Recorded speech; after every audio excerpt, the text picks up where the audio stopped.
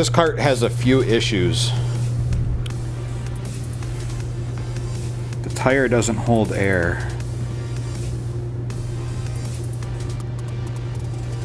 Hmm.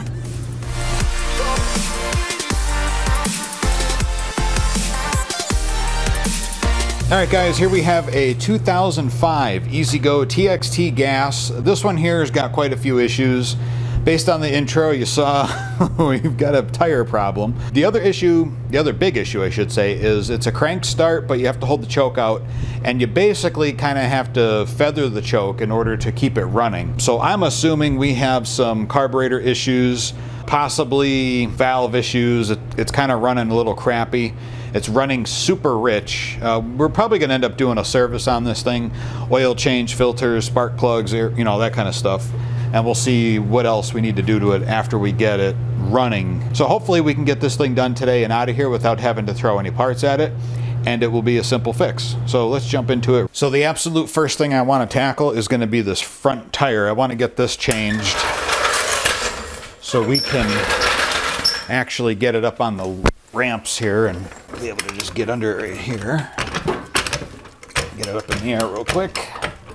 This will be a simple change out. This ain't no big deal, but I just figured I would take you guys for the ride. Three quarter inch socket. Pop this off, hopefully.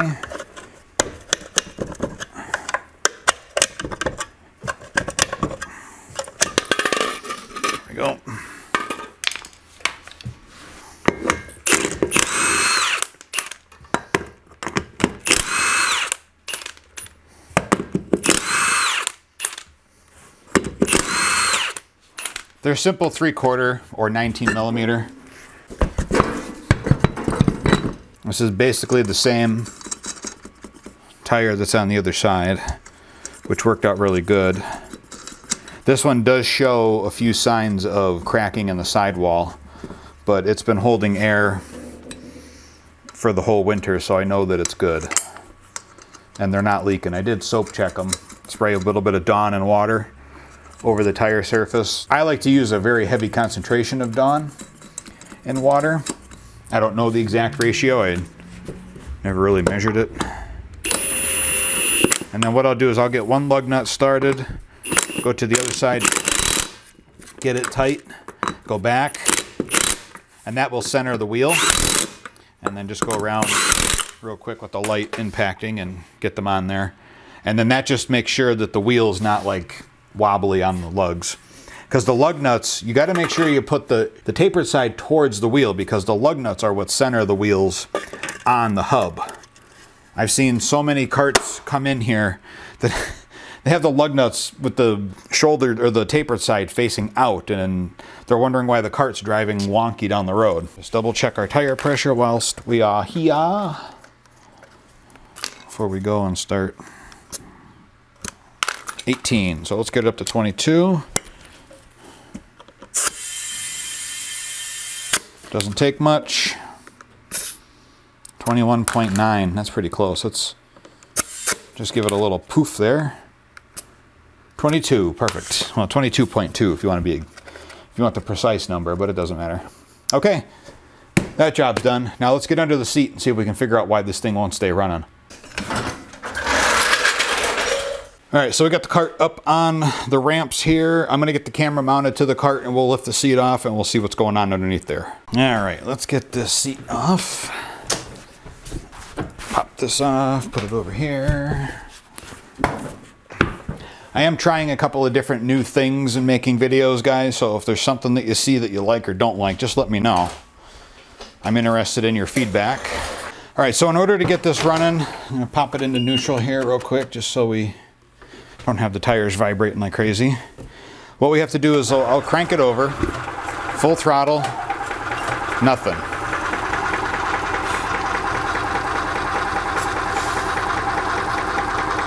Wow. So I don't know if you can see the smoke coming out. So I'll give it full choke. And then I'll let off the choke. And I basically have to there's, all, there's almost, there's practically no play in the little bit. There's very little play. There's like maybe an eighth of an inch play in the choke before I get it running. I'd like to start with the carburetor. See how this looks. Oh, well. I think that filter is a little dirty. What do you think? All right, so here's a new one. Here's the old one. I think it's dirty. What do you guys think? I'm to actually use my air ratchet. I know some of you guys give me a hard time over using air tools or, you know what? My garage, I'll do what I want. Let's see if I can get in here without being in the way. Probably not. I see, it looks like we've had a fire in here. I don't know if you guys are to be able to see this, how black this is. If you can see this white stuff, this air box is all melted. It's got like it's all melted plastic in here, so it looks like we may have had a fire in here at one point. So we're going to do a valve adjustment too, because I bet you it's blowing back through the intake and causing the gas to ignite and burn inside the air filter box. Let's get this off. Go backwards. That's one thing I miss about my battery powered ratchet. At least it was quiet.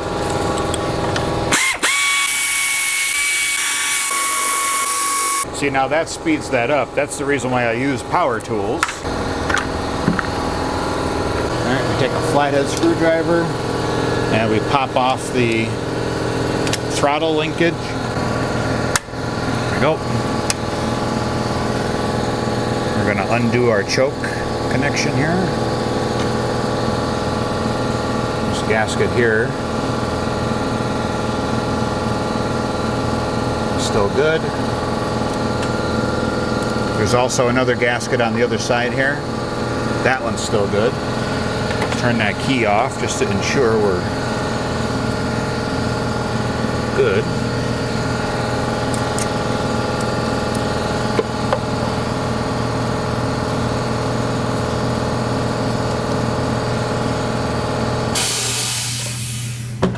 Pop our fuel line off.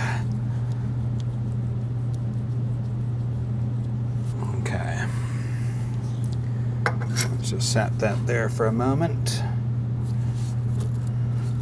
Okay. All right, I think we're gonna take the carburetor over to the bench. We'll take this over to the bench and we'll take it apart. So here's the carburetor. Let's see, is that upside down? It's probably gonna be upside down. It's gonna be upside down. So let's get this off here. I believe that's a 12 millimeter. Yes, this is a 12 millimeter. I'm gonna flip it over actually and but good. Let me get a drain pan here because I'm making a mess. All right, let me put it in the vise so I can crack this open. And I only put it in the vise to hold it. It makes it, it just makes it that much easier to get gain leverage. All right, so some of the gas is already drained out of this. It's already spilled all over the bench, so there's not as going to be as much in here as there should be. All right, a little bit of rust. I'm sure that main jet is blocked. There's some there's some chunkies in here. Granted, there is some stuff in here from other things, but we'll clean that bowl last because I don't want to spray carburetor cleaner all over that O-ring and I want to take it off of there and put it in the carb after the fact. All right, so let's see if we can Get this pin out. Yep. See, these are not pressed in, so they come right out. Take the float out. You want to look at that rubber tip and make sure it's good, and it looks good to me. Throw that on the bench, and we're going to take all these jets out. Take that out so we can get the pilot out. A lot of crap in here.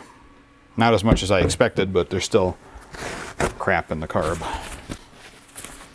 All right, so let's see if this one will work. Yeah, this will work. Just got to turn it. Okay. Remember, these are soft metals in here, so you don't want to be going gohunga on them. Alright, so there's our main. And it is blocked. So we'll clean it. wonder if we can get the tube out.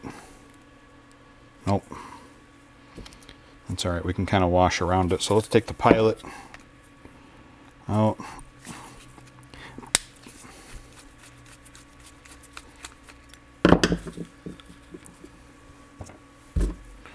Will that fit in there? No, I gotta get a smaller screwdriver. See, the problem with these screwdrivers that I have, okay, that's a better fit, is that they're wide on one end and then they taper. I don't like that. I like the ones that are straight. Oh, there we go. That's a much better, a much better uh, fitment. Okay, there's our pilot. I'm sure that's blocked. We'll clean that up. Look at how black it is. I don't know if you can see that. If it comes across on camera, it should be shiny brass, but it's not. All right, so that is all of the stuff that comes out that I can get out without damaging the carburetor. So now we'll get some carb cleaner. We'll get down in there and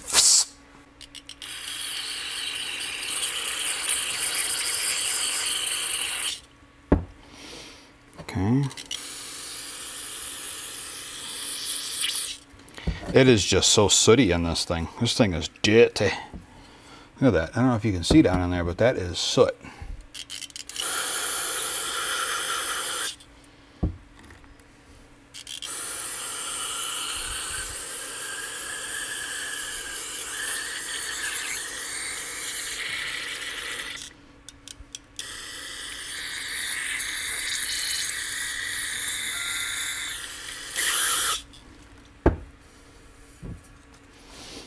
Okay.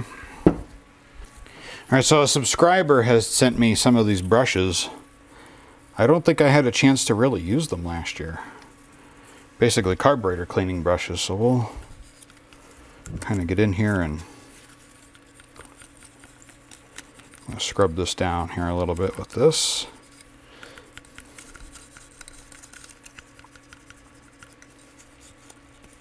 And they're just like a soft nylon brush. They're not aggressive or anything like that. I just want to see if I can clean some of the gunk out of here. And there's all different sizes here. Some have brushes on them. Some are just metal. I've never used anything like this before, so I don't really feel that it's required. But if you want to go for it, go for it.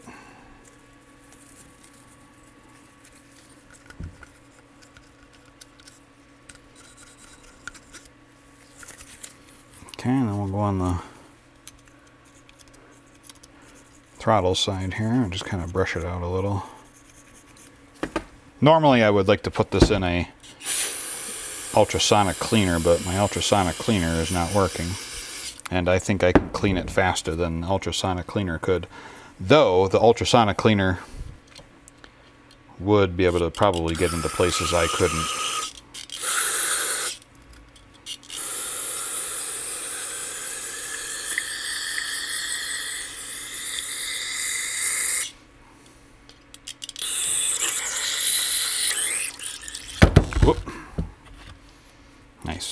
Me.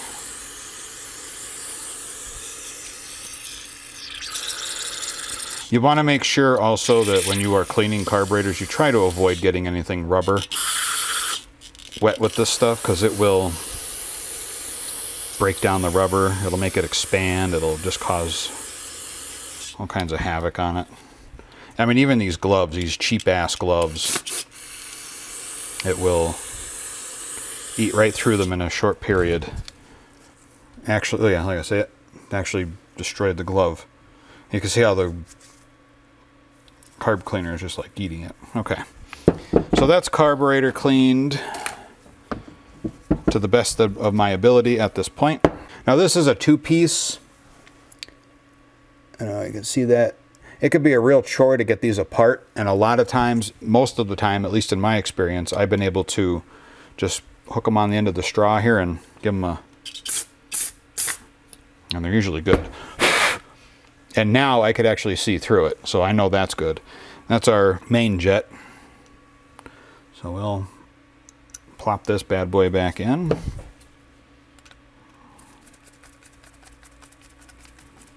Hopefully the screwdriver is long enough. Yeah, okay.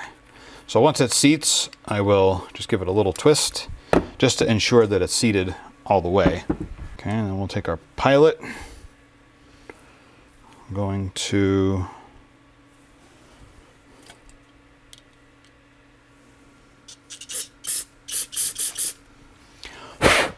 Oh, I could actually see through it now. Very, very little, but I can I can see through it. Wonder if I can clean this off. Oh, a little better than what it was. So now it's not so, it's actually shining now. I'll drop that back in.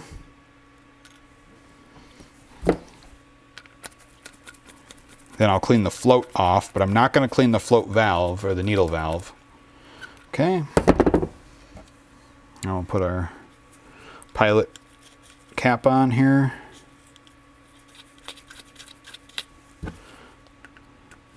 That just snugs. Okay, that's clean. Without replacing the carburetor, this is the best way to go. See, now this thing has a little rubber tip on it. I'll move that out of the way. So this little rubber tip is very sensitive to carburetor cleaner. It will swell and then it won't be any good. So try your best to avoid carburetor spray.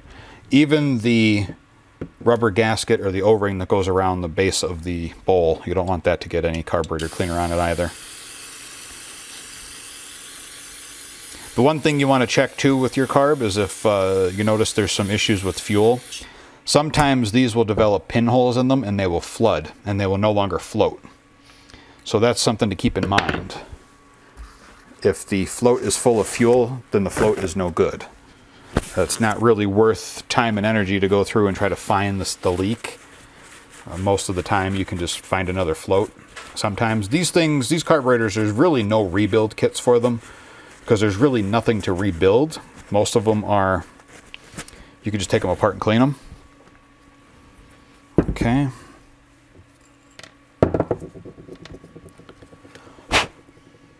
So that looks clean. I will put that on there. And then I will drop that in here like so. I'll take the retaining pin, slide it in. I see a little bit of dirt here. I'll just wipe it off with the towel. You also want to make sure that this operates smoothly. Okay. All right, so the carburetor's back together. Now I'm going to take this O-ring off of here. See this rubber O-ring? I'm just going to wipe it off with a dry paper towel, shop towel. And then I'm going to lay it right in there. Okay. Now if I got carburetor cleaner on that, it would be much bigger than that opening and I'd never be able to get it to seat properly. And it would probably leak. Well, no probablys involved. It would most definitely leak.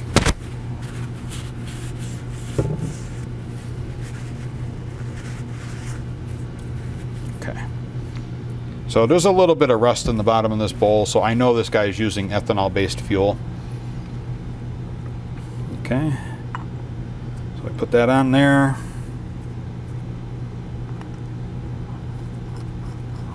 Put this on here.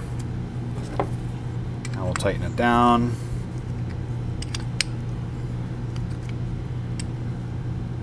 Okay, it's not going on correctly, so we got to back it up. It's not seating. There we go. You got to make sure the rip lip sits perfectly flush all the way around. If it doesn't, then you got to reseat it because you'll bend bend the bowl and it won't be a good thing for you. Okay, so now just wipe it off. Get some of the heavy crap off of there. Okay, let's go back over to the cart and see what happens. Okay, installing the carburetor is just exactly the same as uninstalling it or removing it just in the opposite direction. Slide this on, and there is a gasket here, and that's still good. That rarely fails, that gasket, so we don't really, I never really worry about it myself. Let's install the choke plate. Snap on our throttle. Okay. Reinstall this gasket. Try to remember which way we took it off, which is this way. Nope, this way. Okay. So this thing doesn't keep blowing apart on me. Let me just put this nut on here.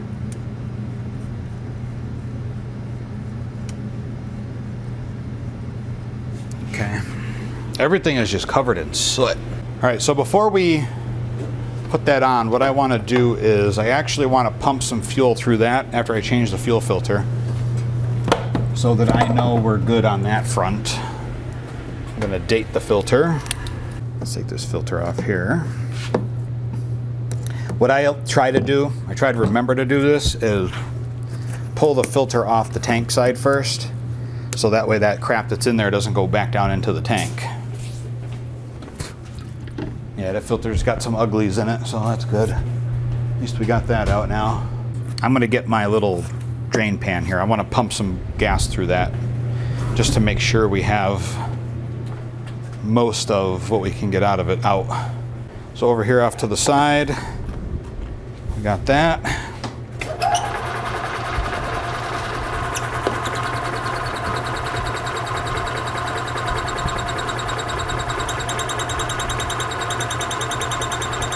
There we go. That's actually nice and clean. All right, we'll slide that back on. Tighten up our hose clamp. You see me? You can see what I'm doing maybe, possibly, hopefully. Okay, there's the hose clamp. We'll slide this back in here. Plug in the PCV. I gotta change out this air box possibly, potentially, but I first have to I have to ask the customer first. I can't just do, unfortunately. I'll switch this around. We'll use this.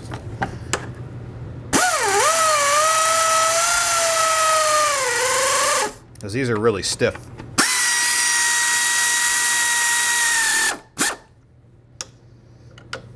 Okay. All right, let's see if this engine will actually start and run without choke.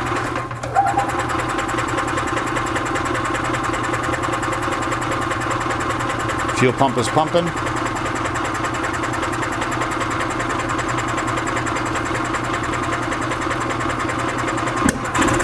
Look at that. Hiccuping a little bit. All right, so we have a valve issue.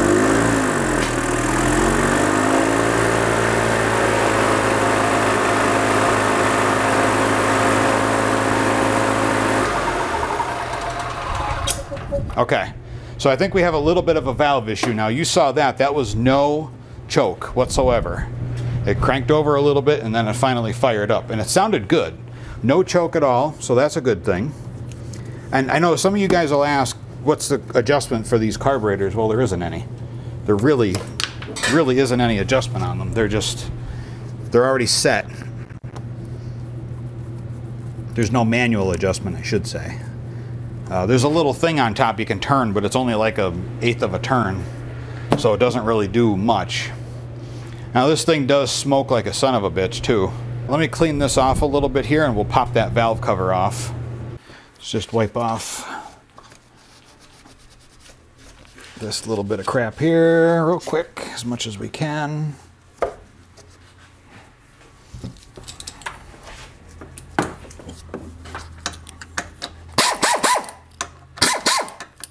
on.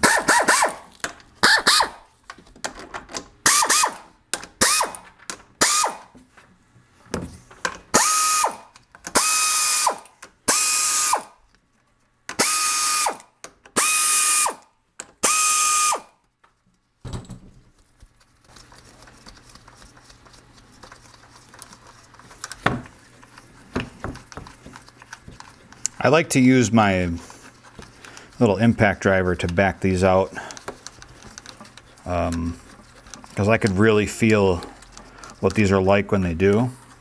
Key is off. Let's get that cover off there. I'm going to adjust you guys here so you can see what I'm doing. There we go. Break that seal.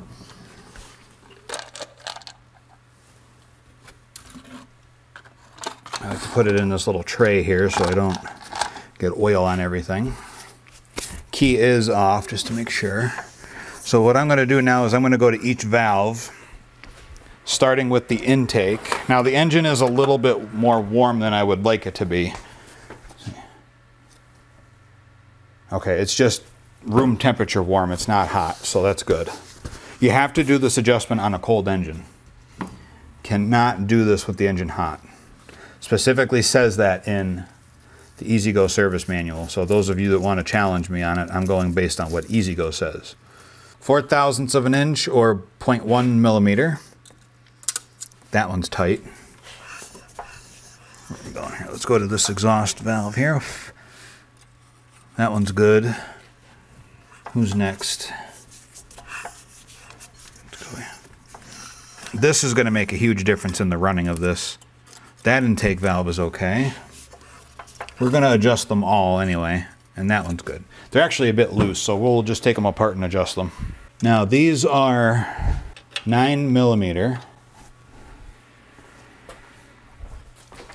I'm actually going to crack them all loose because we're going to be doing them all.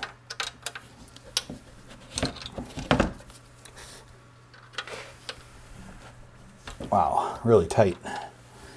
Let's see here, the box end on this one. Okay, I mean you can use a pliers to grab that square head or make the investment in square drive sockets. Okay. So, and you want to make sure the lobe, the cam lobe is facing straight down. Get under there. When you feel a little bit of resistance, that's where you want to be.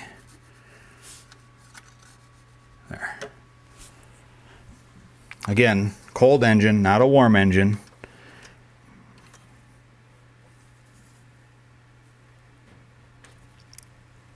Okay, there's that one. We're going to move on to this intake here because I know this one's tight. Oof, there we go. Okay.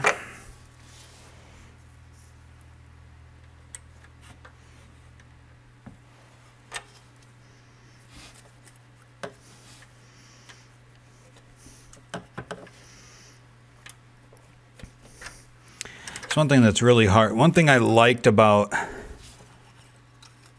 the old Robin engine was that it used a straight slot. So it made it a lot easier to hold back on it when you were adjusting it.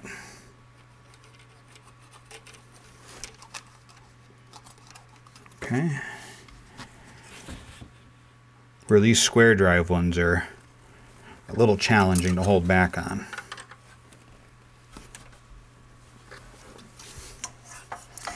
Okay, and then we'll do the next intake here.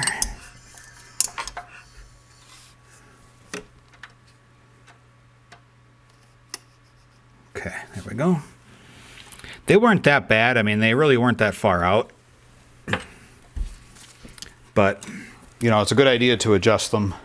That is a routine maintenance thing, so, you know, something that you want to do on a routine, in a routine manner, I guess. But yeah, these, uh, these square drive sockets are pretty nice. I mean, this would be a CRV-E5. That's the measurement on that one. So whatever, whatever I don't know, whatever they call it, whatever that metric is that they're using to measure these. If it's a standard or not, I'm not sure. Just by adjusting the valves on this motor, that will significantly improve the performance of the engine. So it will run a lot better now. Uh, the next thing we got to do is check those spark plugs. Um, I'm actually going to reach out to the customer and see what they want to do about this air box uh, after we get everything else done because Okay, the drive starter belt's good. The drive belt's new. I put that on, I think it was only a couple of years ago.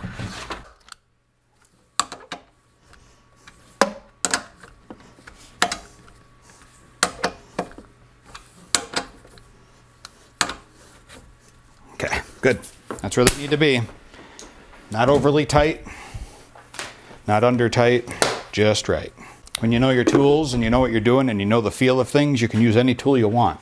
We have all the major issues fixed on this engine, on this cart rather. So now all we have to do is go through the oil change and check the spark plugs, grease the front end, and then check the other three tires to make sure they're actually at the right PSI that they need to be at. 22 is typically what the sidewall rating will be. And then we should be good to go. I actually just noticed I forgot a. How many of you were screaming at the monitor, you forgot the clamps? I could hear it now. All right, let's pop out them spark plugs. Holy crap. Ooh.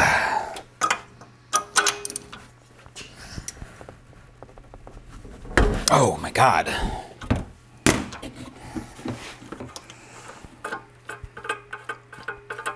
Well, at least they were in tight. I have to worry about them being loose. Yeah, they're a bit carboned up. I think we'll go ahead and change them out instead of trying to clean them up. We'll just put new ones in. Now that the engine's running better, it should uh, basically clean itself out. Once he gets it up to temperature. Actually, that one's still in good shape. But we're here. We're going to do them both. I like to put a little dab of high temperature anti-seize on the threads. That way we know that they won't get stuck in there. It shouldn't gall the threads because it is an aluminum head. This is the MCI engine.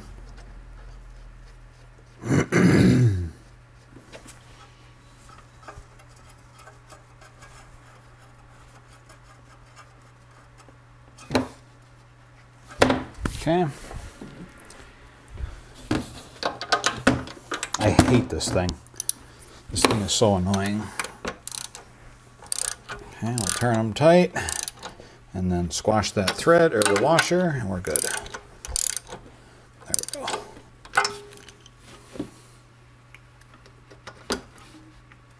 They don't need to be gahunga tight either. Okay.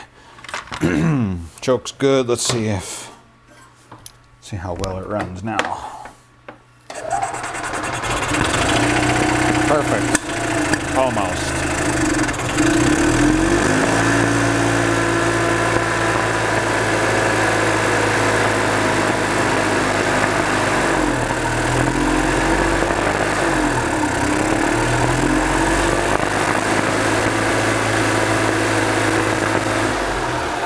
Boy, she's she smokes a lot. I think this engine is, hopefully that's just from, no, that's oil. That's definitely burning oil. That really sucks. Okay, now that the valves are adjusted, carburetor's cleaned, new spark plugs, new fuel filter, we got a new air filter for it.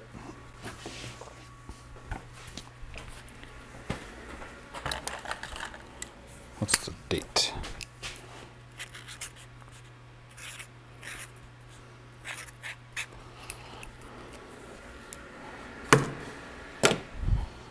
The date on it there. Put that here. Oh, wait a minute. We got to put all this. Just putting this in here for now. I want to clean that stuff up. Next thing we need to do is oil change, and we'll test the battery. Can you guys see what I'm doing? No, you can't. So now I'm hooking up the battery tester. This is a solar model number BA227. This will actually go through and do a battery test and a system charging test. So battery type is flooded. Cold cranking amps, it is 555 cranking amps above 32. It's testing. And it's passed. So we're good there. And I got grease all over my cable here. Let's uh, wipe this off right now before I get it all over me and this cart. So I'll print the results for that. And then this will give a, a, physical copy to the customer, which is really nice. It's one thing I really like about these little testers. And now we're going to do a system test, which is going to basically test the charging system and the loads. But first, I probably should make sure all the loads are working. Oh, and they're not. That's convenient. The backlight's working? Oh, nothing's working. Whoa, what the hell?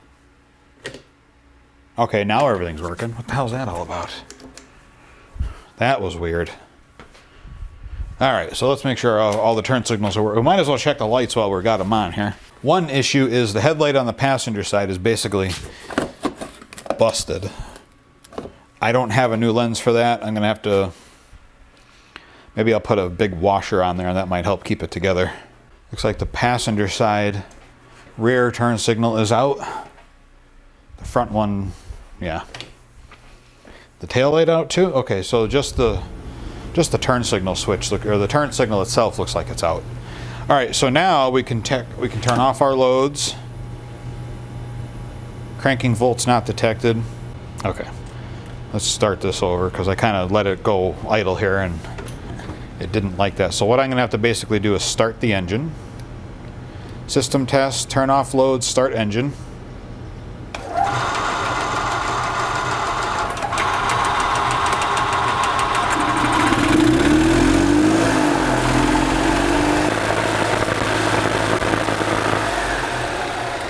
So it's, I mean, I don't know if you if it's portraying on camera at all, but it is in sorry shape, this cart. This poor engine is, it's in desperate need of a rebuild. So it has, based on the way it's smoking, it seems like it's got bad rings. I can do a compression test to test that. Um, but just by how much it's smoking after it gets running, I know that it needs rings. I have to open the door because it's smoky in here.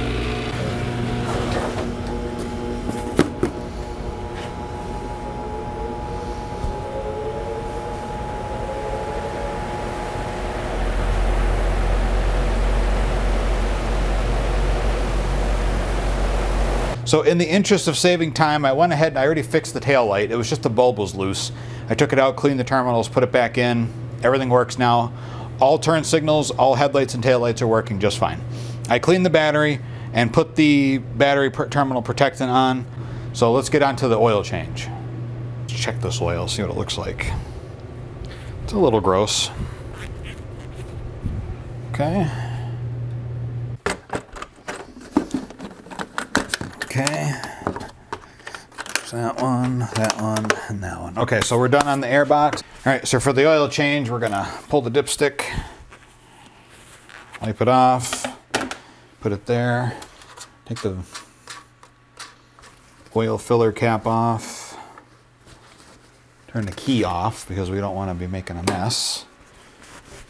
Put that right there. That will allow air in, so when we drop the oil, it'll just flow right out. Got you down here with me on the underside of this cart. Here's our oil filter right here. It's got three 10 millimeter bolts. So 10 millimeter. Holy shit. Okay, we're gonna get a bigger ratchet because I need more leverage. And I like these little extensions that have like a little swivel head on them. So it makes it nice and convenient to get into tight areas like this. There we go, that's cracked loose. We're gonna crack them all loose first and, and throw the ratchet across the garage floor. See here. There we go. And there we go. Okay. Ooh, this one's really tight. Why? That shouldn't be that tight. The brake cable and the throttle cable are getting in the way which causes my arm to get in the way. All right, let's see if I can.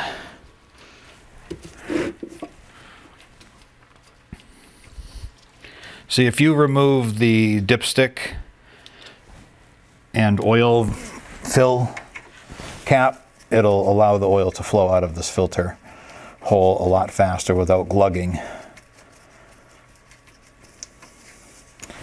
Because they do glug. It'll go glug, glug, glug, glug, glug, glug, glug, glug. And just be forewarned, it will come out of here gushing in a very, very quick manner if you're not watching what you're doing. Let's see if I can do this with this hand. Probably not. I'm going to make a mess. There we go. Ooh, that stinks. Super black. Smells very gassy.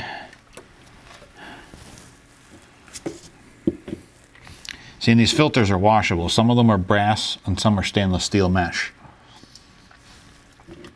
Okay, and the O-ring, there's supposed to be an O-ring in there, but it's it's stuck to the filter. There's no metal chunks inside the Let's see, I don't see any metal chunks on the mesh. I'm gonna go wash this off with carburetor cleaner. I'll be right back. All right, so we're good. I was a little concerned with something that I saw on the filter, but it wasn't anything. Um, so everything's good. It was just a little bit of sludge buildup inside one of the pleats. And that's probably due to the engine being wore out. Next time I do this, if I do, I'm gonna make sure to put the camera on the other side. There we go. Okay. And just like in a spin-on oil filter, you want to make sure that you oil that really good. Clean oil is preferred, but this will work too. Like that oil, it smells burnt. So I don't know how hard this cart was run but it smells like it's it's been run really hard just by the smell. So that tells me there's probably a good amount of blow by past the, the piston rings. When these gloves get oily, they're very hard to it's very hard to grip smooth chrome steel.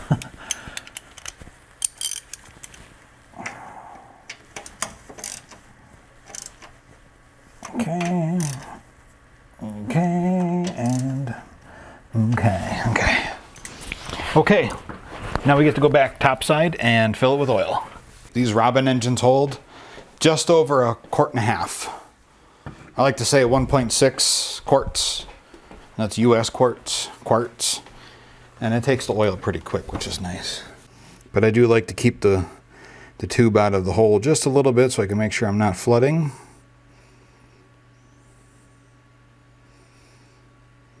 There's no baffles in these, so they do take the oil pretty quick, which is nice.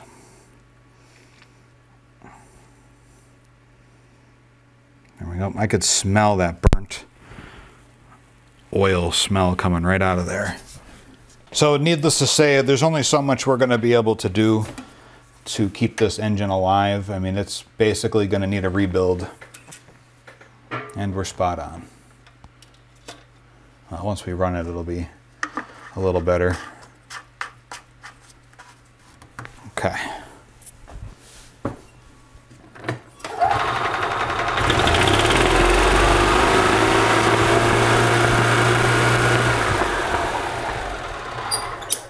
Alrighty. So typically on these carts, what happens is this bolt that runs through here, you can see how rusted it is. This bolt in here gets all crappy and cattywampus up inside there and causes the pedal to stick. I mean, you can see it doesn't want to, the spring doesn't want to return it. And the spring is in good shape. It's actually very lightly rusted, but it's not terrible. A lot of times what you can do is you can get away with just loosening this nut and bolt, and that will help, but that only sometimes works. So we're going to try to loosen this up. This bolt end here, it is so hard to get a wrench on this because there's no meat to it. This is a really terrible design. Now, once you get them apart, you're able to clean them out. You can clean them out with like a very fine wire brush type of thing and lubricate them with some red grease. And usually it's good after that, but the hardest part about this is actually getting it to come apart. All right, so this is a 9 16ths on this end. Okay, so that's a 3 quarters or probably even a 19 millimeter. Let's try to loosen this 9 16ths up first. Hopefully I won't knock the camera off the cart. I'm gonna try to loosen that. Okay, that loosened that up quite a bit actually. Now I should be able to get this off. And the, like I said, the hardest part about this assembly here is,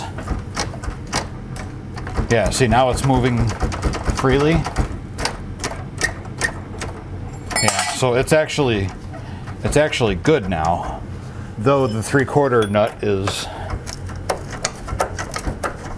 oh, you know what? We might be able to get this apart. I didn't think this was gonna come apart this easily. I don't have any of these specialty bolts, so I couldn't take this apart and cut. I, if I couldn't get it apart, I would have to normally cut it.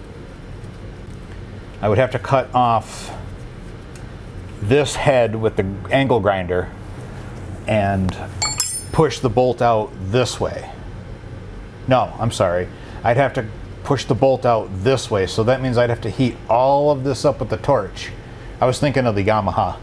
Um, I'd have to heat all of this up with the torch and get it hot to melt the plastic bushings inside here.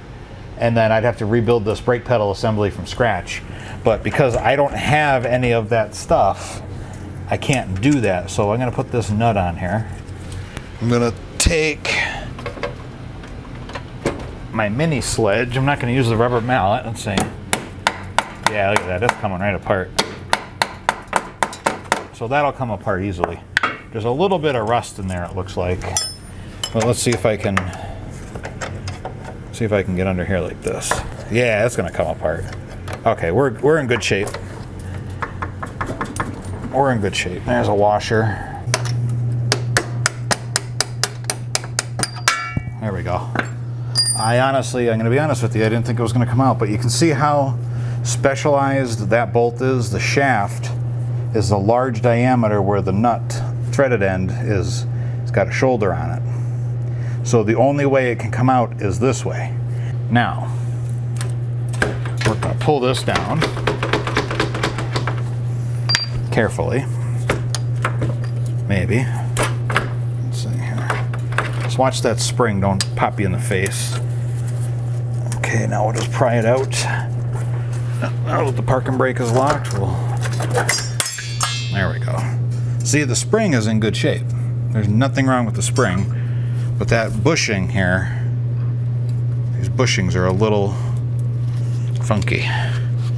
I think they just need to be lubricated, if you want my honest opinion. And I don't have these bushings, unfortunately. So I'm going to put a little lubrication on this, and then we'll ship it home here and see what happens. I use this stuff on my excavator. So I know it's good stuff. Okay. So now we're going to be covered in grease. Yay. I exclaim with great relish. Okay. Okay I don't know if it's actually going to take the grease, but we're going to try. Okay, now I want to wipe my hands off so I'm not getting grease all over everything. Keep it out of the way. See, that's going in very easy. I'm just having a hard time swinging the damn hammer.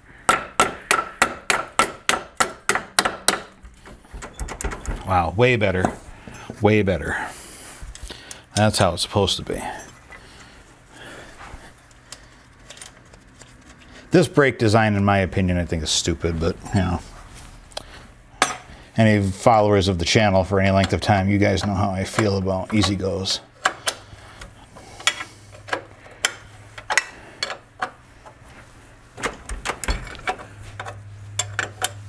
You see what I'm doing?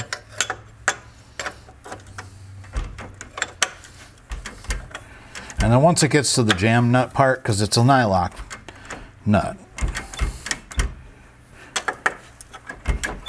I'm just going to get it snug. Now the backside is spinning, okay?